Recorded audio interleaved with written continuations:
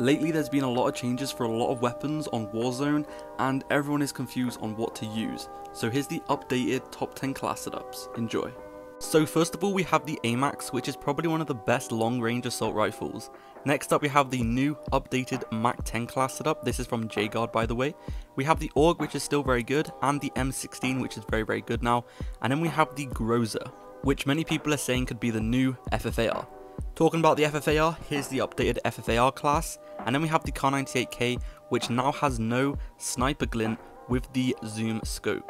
The Gallo shotgun, we have the Tundra, which is one of the most underrated snipers, and then the updated Hipfire MP5.